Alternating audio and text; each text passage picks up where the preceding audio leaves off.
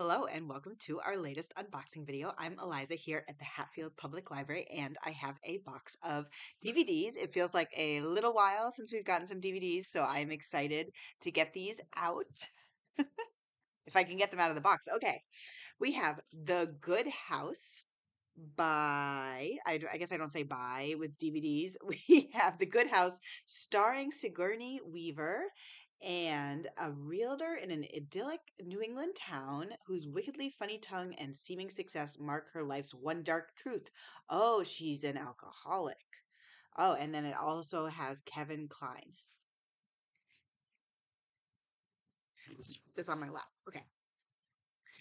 Amsterdam. I think I saw a preview for this. Like maybe it came up as an ad or something. Wow, this this is one of these movies that just stars a million gazillion people. Um, Christian Bale, Margot Robbie, Timothy Olyphant, Chris Rock, Zoe Saldana, Mike Myers. Everyone is here. It's filmmaker David O. Russell, and it's a original crime epic about three friends who find themselves in the middle of a shocking secret plot. So it says it's an original story, but it's it's based on facts that meet fiction. I think that means like very improbable facts. but so I guess I don't know. Sounds good. We have fall. This sounds so terrifying. I really have no desire to watch this. I will just be very straightforward, but I think a lot of people do want to watch it. It is a movie um, about uh, best friends who like to conquer fears and push their limits. So they climb to the top of a water tower, which is two thousand. Oh, a radio tower, two thousand feet, and then they find themselves stranded with no way down. Uh huh. That sounds so stressful. I can't even imagine. Oh my goodness. Maybe I'll read the Wikipedia summary. we have Bowie, Moonage Daydream. So this is a film by Brett Morgen, and um, it is about David Bowie.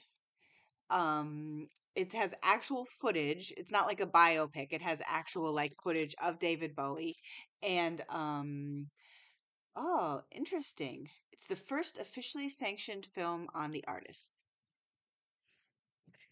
We have Jerry and Marge Go Large. This stars Annette Bening. Um, so this is about a retiree who finds oh uh, sorry Annette Bening, Rainn Wilson, and Bryan Cranston. And Bryan Cranston is a retired um I guess I assume he's some sort of retired professor, but he finds a loophole in the Massachusetts lottery, and so they go on a um, multi-million dollar winning spree and then try to revive their own town. Um, hmm, interesting. Sounds fun. We have, of course, Emily the Criminal. I've seen lots of ads for this. It stars Aubrey Plaza. Um, it's got that certified fresh tomato, and it is about a woman um, who is having trouble finding a job, I think because she has a felony, and so she has to take a shady draw- job. Uh, we have a horror movie, Pearl, Mia Goth. She looks so cute, but she's holding an axe, so you know that something is up. Um, oh, so this is a, it says it's another chapter from the twisted world of X. Um, so it's about trapped on a farm. Duh, duh, duh. Yeah, so I don't really know the horror movie world, but it sounds like maybe this is maybe not a direct sequel, but sort of set in the universe of another horror movie.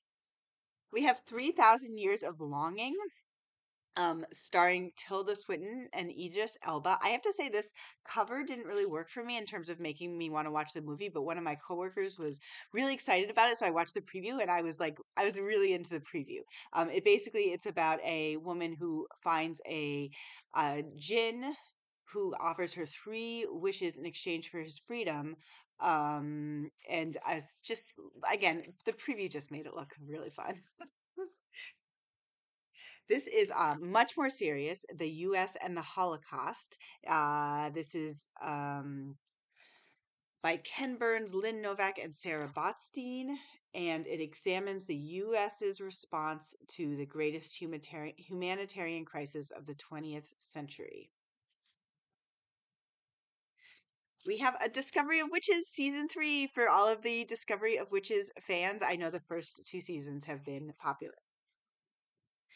We have Don't Worry, Darling. This says Perfection has a price. Oh my gosh, this is another one that stars a ton of big names Florence Pugh, Harry Styles, Olivia Wilde, Chris Pine. A 1950s housewife living in a utopian experimental community begins to worry that her husband's glamorous company may be hiding disturbing secrets. we have Bros. I heard that this was very fun. Um, this is a uh, this is interesting. It's does it even say who the actors are? It just says who the writers are. So it says uh, written by Billy Eichner, Nicholas Stoller, and Judd Apatow. Um, that's kind of funny that it doesn't seem to say anywhere that I can find the name of the actors, but I guess the names of the writers are so big. And here you can see the actors on the back.